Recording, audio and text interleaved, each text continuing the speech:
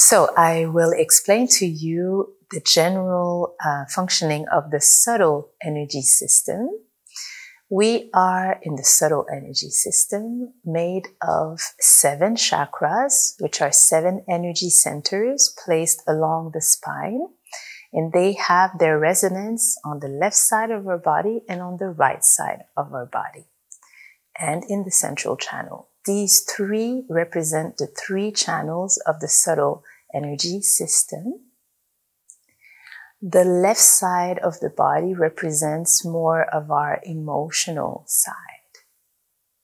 The right side of the body represents more of the rational side.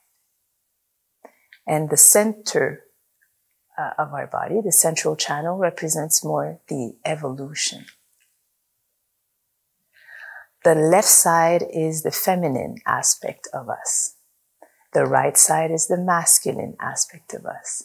And the center is the perfect balance between the two. The left side represents the past. The right side represents the future. And the central channel represents the here and now, the present moment.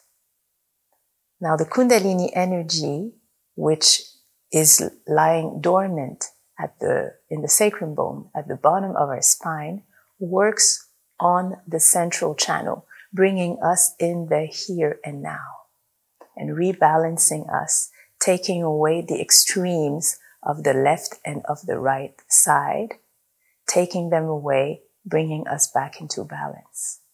Now, in this meditation, in this knowledge of the chakras, uh, we are explained that um, we function always, most of the time, between left and right.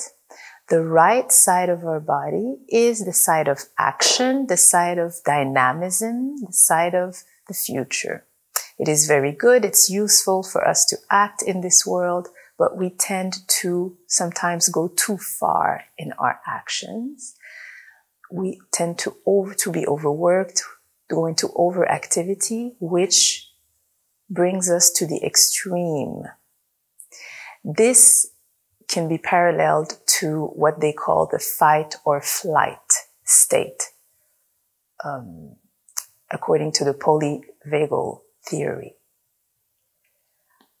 There's a way to balance ourselves out of the extreme of the right to become, again, dynamic or to be just more centered. Same thing can happen on the left side. It's our emotions, it's our intuition. However, when we tend to either go too much on the right side, sometimes we burn ourselves out and we fall on the left side.